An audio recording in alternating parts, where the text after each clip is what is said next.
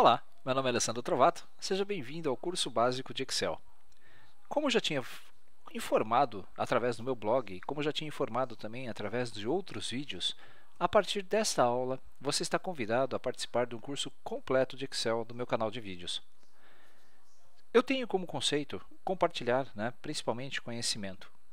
Eu acho que esse curso de Excel ele vai ajudar bastante pessoas que estejam se preparando para o mercado de trabalho ou aqueles que desejam conhecer esse aplicativo.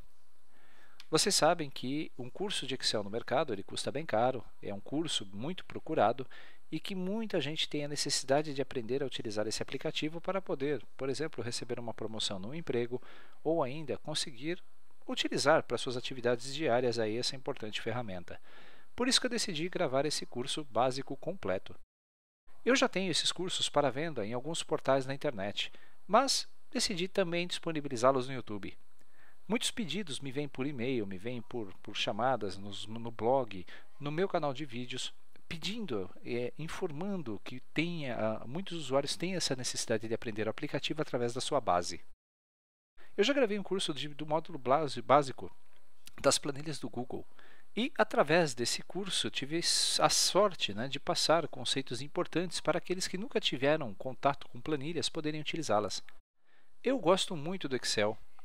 as planilhas do Google são excelentes, também têm os mesmos recursos. Muitas empresas estão adotando as planilhas do Google, mas eu ainda acredito que o Excel é a melhor ferramenta de planilha eletrônica do mercado. Eu acredito que você também deve compartilhar desta informação. O objetivo principal desse curso é transmissão do conhecimento. É passar a você e a todos aqueles que desejam como utilizar e como aprender a utilizar o Excel. Eu gostaria de pedir um favor compartilhe esse vídeo com seus amigos, compartilhe na sua conta do Facebook, compartilhe no, no Twitter. Quanto mais visualizações nós tivermos no vídeo, mais pessoas atingirão né, os objetivos que é aprender a utilizar essa ferramenta. Vou dar esse curso utilizando o Excel 2013, mas não se preocupe se você tem o Excel 2010 ou Excel 2007. Apenas para usuários que têm a versão 2013 do Excel, eu faço uma ressalva que muitos dos conceitos vão ser diferentes na tela. Mas, se você usa o 2007, 2010, 2013 ou mesmo o Office 365, não se preocupe, tudo aquilo que você vai aprender nesse curso você vai conseguir aplicar. Esse curso vai ser gravado, pelo menos uma aula por semana vai ser liberada.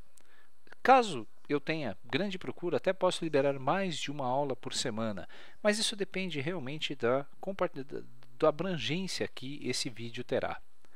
Eu espero realmente que esse vídeo atinja é, o público que precisa para aprender a utilizar esse importante aplicativo. Vamos começar? Como eu falei, esse curso é voltado para aquele que nunca utilizou uma planilha eletrônica. Se você já utilizou planilhas eletrônicas e já tem um bom conhecimento, então recomendo a você que procure as aulas mais avançadas no meu próprio canal. Mas, se você quer aprender dicas importantes, quer rever conceitos, então esteja convidado também. Vou tentar deixar esse curso bem dinâmico, vou passar muitos exemplos, você vai ter condições de baixar a planilha para que nós vamos utilizar com exercícios, aula a aula, conteúdo a conteúdo, de forma que você possa acompanhar. Vou também escrever um conteúdo programático e vou disponibilizar no meu canal, né, no meu blog, no sigonerd.com, para que você possa baixar esse conteúdo programático e acompanhar as aulas também. Eu espero que você goste desse conteúdo. Eu espero que você assista esse conteúdo, porque com certeza esse curso está sendo feito com muito carinho. Vamos começar? Muito bem. Para que você possa utilizar o Excel, é necessário que você tenha ele instalado no seu computador. Se você não tem o Excel instalado, então é obrigatória a instalação do pacote Office, ou você pode adquirir o seu pacote, né, o seu Excel na versão única, na versão é, isolada do pacote Office. Mas eu não recomendo que o preço é o mesmo. O pacote Office pode ser encontrado em qualquer casa de grandes lojas, aí como Calunga, Extra, Ponto Frio. Basta uma busca no Google e você encontrará onde comprar. Existem pacotes Office que são baratos, são pacotes Office que você pode comprar e instalar em até mais de um equipamento o seu pacote, dependendo da versão. Por mais ou menos você vai pagar aí de 170 a uns 250 reais por um pacote oficial e eu recomendo fortemente que você faça isso para que você possa ter direito tanto às atualizações como também ao suporte da Microsoft. Não compre software pirata. Você pode ter um abacaxi em mãos. Utilize software oficial e utilize o pacote Office oficial, você vai perceber que o investimento vale a pena. Muito bem, para saber se eu tenho o pacote Office instalado, eu tenho o Windows 8.1, veja só. Eu vou clicar nesta janelinha. Caso você não a tenha, basta clicar com o botão, né, a tecla do Windows no seu teclado, que está entre o Ctrl e o Alt esquerdo. Quando você visualizar os tiles, na parte inferior da tela você tem seu, essa setinha para buscar os aplicativos. Caso você não tenha essa setinha, é porque você ainda está usando a versão 8.0 ou a versão 8 do Windows. A versão 8.1 coloca essa setinha para mostrar todos os aplicativos instalados no seu computador. Mas se você não tiver isso, não se preocupe.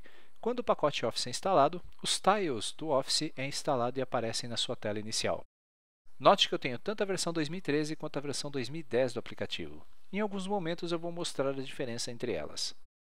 Caso você ainda não esteja visualizando esses recursos, clique no botão Procurar, escreva Excel e você perceberá que o ícone do seu aplicativo vai ser exibido. Veja só, eu tenho então aqui o Excel 2013 e o Excel 2010.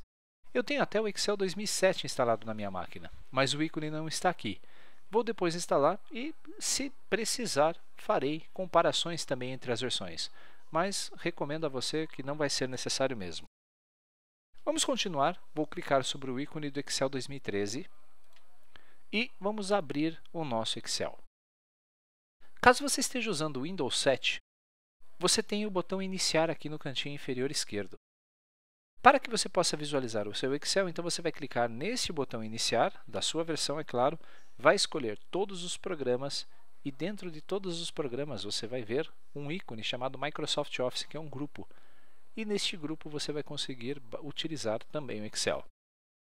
Novamente, vou para a minha área de trabalho e vou clicar sobre o ícone do Excel. Se você quiser fixar esse ícone na sua barra de tarefas, clique com o botão direito do mouse sobre ele e escolha Fixar na barra de tarefas. O meu já está fixado, eu não preciso. Quando você fizer isso, imediatamente ao vir para a sua área de trabalho, o ícone do Excel vai aparecer aqui na parte de baixo da tela e você pode clicar sobre ele também. Ainda uma terceira forma de carregar o aplicativo. Veja só, vou encerrar o Excel novamente. E você pode pressionar a tecla do Windows acompanhada da letra R, que é para abrir essa janelinha chamada de executar que você está vendo na parte de baixo da tela. Esta janela de executar permite a você digitar comandos. Eu poderia digitar aqui Excel. Se você tiver apenas um pacote Office, vai funcionar sem problemas. No meu, você vai ver o que vai acontecer. Observe. Assim que eu pressionar o Enter, a versão 2010 do Excel vai ser carregada, não a versão 2013. Mas isso é por causa dos patches ou dos caminhos que nós temos cadastrados aqui. Não se preocupe, pois o conteúdo desse curso vai abranger todos os recursos das ambas as versões. Você vai conseguir utilizar tanto a versão 2007 quanto a versão 2013 quanto a versão 2010 sem problemas. Carregando o Excel na sua versão 2013, nós vamos ter essa tela inicial. Essa tela inicial exibe a você os arquivos recentemente utilizados, como também os modelos online que você pode utilizar. Na parte de cima você tem esses quatro controles. Este ajuda do Excel, esse botão minimiza a janela, veja só, quando pressionado, ele reduz o Excel para a barra de tarefas e quando nós clicamos uma vez sobre esse ícone, o Excel é restaurado. Temos a janela maximizar para que o Excel ocupe a tela toda e você consiga visualizar mais opções dentro do aplicativo. E o botão fechar para encerrar o Excel.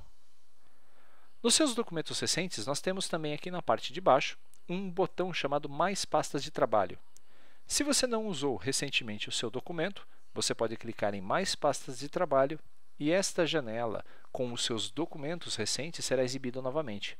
Essa é a forma mais próxima que nós temos da versão anterior do 2010 para os arquivos recentes. Você também pode abrir documentos que estejam salvos na sua pasta pessoal lá na nuvem, eu vou ensinar vocês a fazer isso também, no seu computador ou ainda adicionar locais específicos.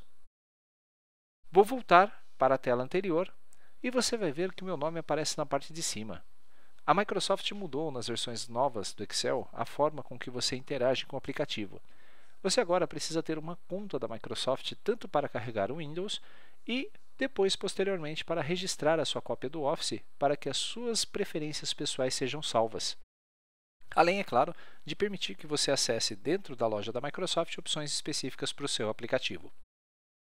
Nessa parte de baixo, nós temos centenas de modelos diferentes que você pode utilizar.